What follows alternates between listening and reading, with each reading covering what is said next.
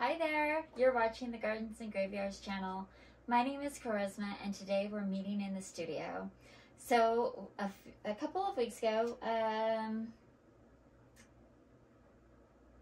11 days ago, we planted some ranunculus corums and I will link that video below so you could see um, and the timestamp because we did a couple of projects on that day. But at the end of the video, we planted some or pre-sprouted some ranunculus. And in this strawberry container, they have come up and it's time to go ahead and put them in their individual little containers that I will grow them in until I'm ready to put them out in the spring. Now, I grow on the Oregon coast in a zone 9A, and it's plenty warm enough that I could put these out into the landscape. But I have never grown ranunculus before, and anytime that I see them come available in my area, they're already an established plant. My area doesn't get very warm for a very long time. So while we're temperate and we don't drop into the freezing temperatures, we also doesn't we also don't climb into the high 70s or 80s until late August and only for a couple of weeks. These are spring blooming flowers, but what I've been noticing when I watch other flower growers is they start blooming for them in like April, May, and for them, their temperatures are already hitting that 70 degrees. So if I want my plants to grow and get to blooming stage, I need to give them a really good head start. So today we're going to take these little tiny babies and we're going to put them into their own little plant containers and they could just live in there until it is time to put them out in the landscape. I will probably put them out in like late March to mid April, somewhere in there, depending on how much rain we're getting in the spring. So the first thing I'm going to do is I'm just going to mix up a little bit of soil. Because these are going to be living under grow lights in my house, I do want to give them a little bit more um, drainage than just straight up potting soil.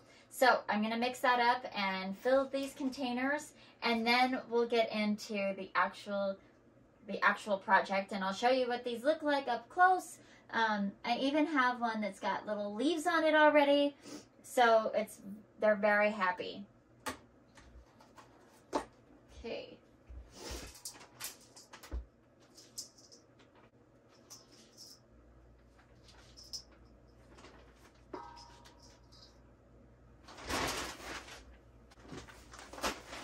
So this just regular organic potting soil for indoor or outdoor use. Nothing extra special about it. And then this is perlite. This is a Miracle-Gro brand, but you can get any kind of perlite that you get your hands on.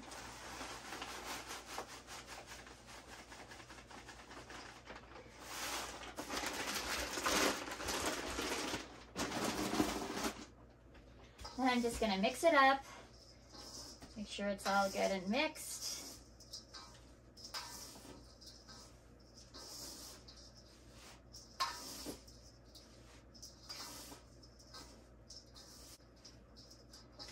I don't have an exact recipe. I just go by how it looks and feels and what I know works best in my environment. And so what I really just look for is the white speckles in there and I want a pretty good ratio of white to brown. Maybe like, I would say like 30 to 40% um, perlite to soil. All right, so then I'm gonna go ahead and moisten it because those ranunculus are really tiny and I don't wanna drown them by watering them really good on top. So all I'm going to do is put some water in here.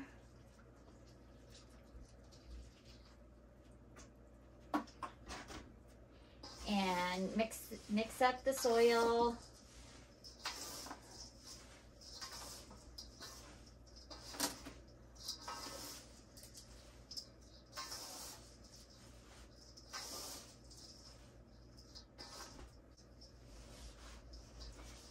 So I want my soil to be pretty moist, but I don't want to be able to wring it out. So when I do this, I don't want any water dripping, but I do want it to sort of firm up and just stay firm in my hand.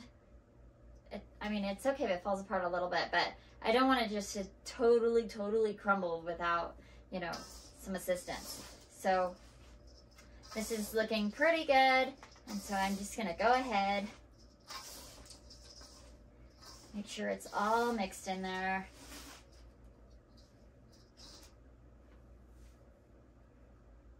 Looks good. All right, so then we're just gonna go ahead.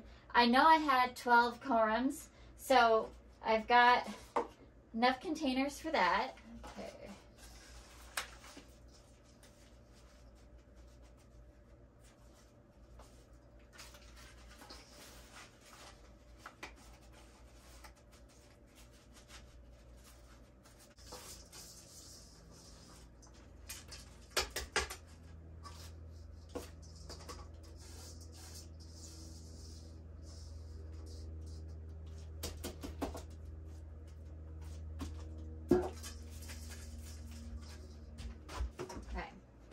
Actually gonna just go ahead and put these in right away. This will go underneath my grow lights. So you can see all the little sprouts in here. There's quite a few. They're tiny, but they're there. And so we're gonna gently remove each one and put them in their own container.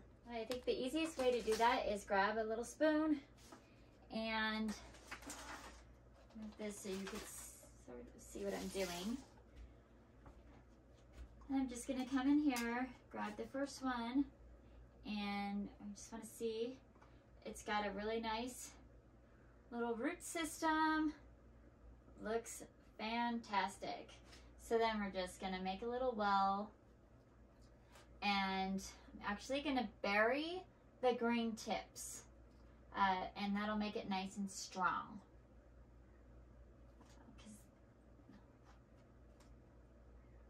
Some of them will be buried more than others depending on how big they are.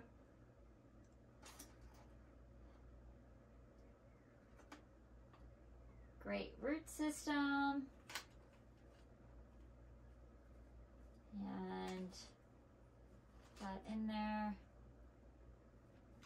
You could also just fill the fill these up halfway, pop these in, and then fill the rest of them up. Just whatever is easiest for you. Okay. So like this guy already has leaves, so I'm not gonna plant the leaf below the soil line. So I will leave that up, but I can bury it a little bit deep so that the stem is under the soil, just to give it plenty of um, stability. Okay, like this one, barely has any kind of a shoot, but plenty of roots. So I am gonna put this one underneath the soil. And then just cover it up. And you need to be careful here. It's like hard to see them all. You see this one, plenty of roots.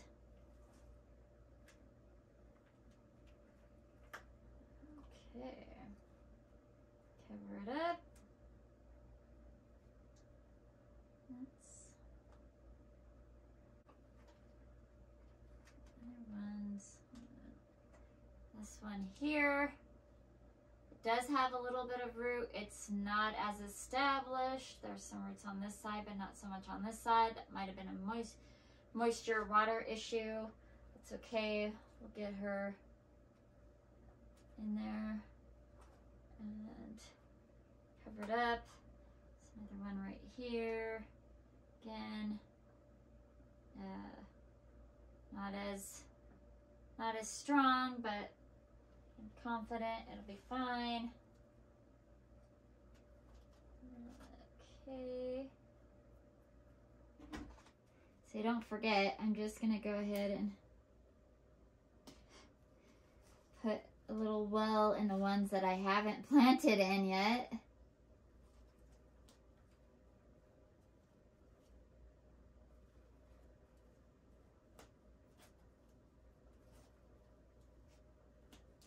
Okay.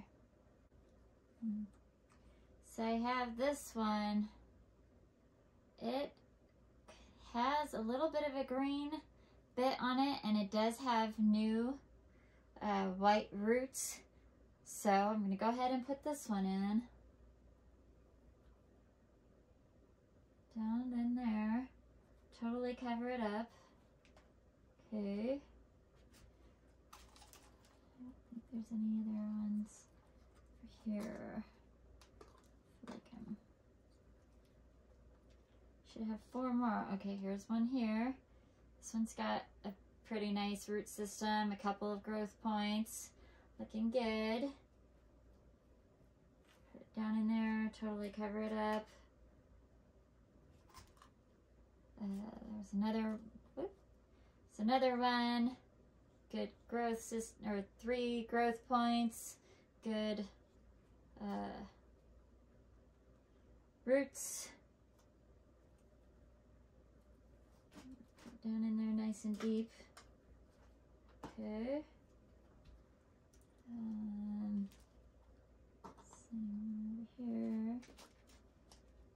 Yeah. Should have two more in here.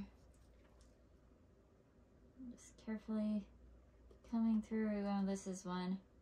This one I was curious about because it looked really tiny to begin with. But There's actually a little bit of white and green growth right there. So I'm going to go ahead and plant it in and see what it does. Okay, then just one more somewhere. Oh, there it is. And this one looks pretty good too, so just plant her in there. Wow. I am so happy and impressed. That's so awesome. Right. I don't think there was any others because I pretty sure I only had 12. Let's double check. Seen anything else in here?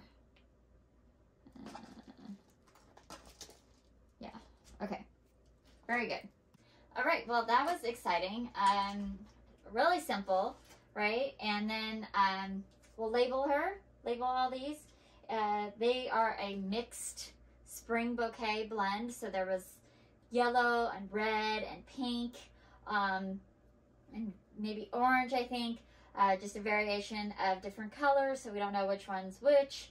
And you know what? These came uh, four corums to a package, so I bought three from the Dollar Tree. And they all sprouted, which is just so exciting to me. And I think we're going to have great success. So let's go ahead and get these uh, labeled and um, a little bit of water. I'm just going to actually just water the tip tops, just sort of settle the soil because there's already quite a lot of moisture in there. Um, we're just to sort of settle settle the uh, root balls. Just want to make sure that the root balls uh, don't have any air pockets around them so they don't dry out, which could have happened with a couple of those already that I was seeing where the white um, new roots were really strong on one side but not the other. It's probably because there was a little dry soil, um, unable to take up water. So give them their best shot right there. And then I'm going to find my labels and label them and we'll go ahead and put them under grow lights. They don't need grow lights right now because they're all underneath the soil, but as soon as they start coming up, they'll go under the grow lights. And currently I have my lights on for some baby um, African violets. And that's just like my seed starting station, my propagation station. So it's just easy for me to go ahead and put this tray underneath lights, even though they don't need lights right now. they will appreciate that little bit of gentle warmth that the lights put off. Label. Uh, just like I had just used some Sharpie right here and said what they were and what date I started the pre-sprout. On this label, I will put what they, write what they are and the day that I planted them in these containers. So, and I'm only growing this one variety. So I don't need to worry about a variety name and I don't know what it is anyway. Uh, so I don't want to forget when I pre-sprouted. Since it's my first time, I want to make sure that I know exactly how long it took from pre-sprout to putting them out in the garden. So I'm just, I wrote pre-sprouted 118, 4 inch um, plant on 129.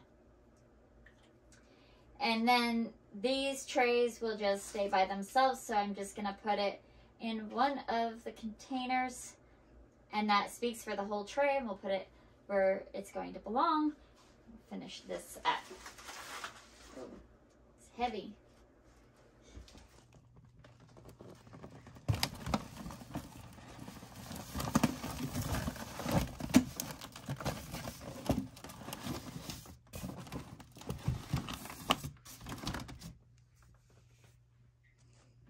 that's going to do it for today's project. I hope that was inspiring. I've never grown ranunculus before. I'm excited to do it this year. And there are so many beautiful varieties. I, if this is successful, I cannot wait to start growing them from some more um, you know, some growers that really know what they're doing. Like this is from the Dollar Tree. I'm sure the grower of those corums knew what they were doing. They packaged corums and seeds, I'm sure. Uh, but I don't even know what the brand was. I'll have to try to dig that out and find it again. Um, but I know Floret has some beautiful, beautiful ranunculus. I think Johnny Seeds has some really beautiful ones. I've seen some really dark purple ones that I really want to try and some white ones. Um, so I'm excited and I can't wait to see what they look like and I will definitely share with you when that happens. But until the next video and the next time we're together, keep celebrating your life. Bye.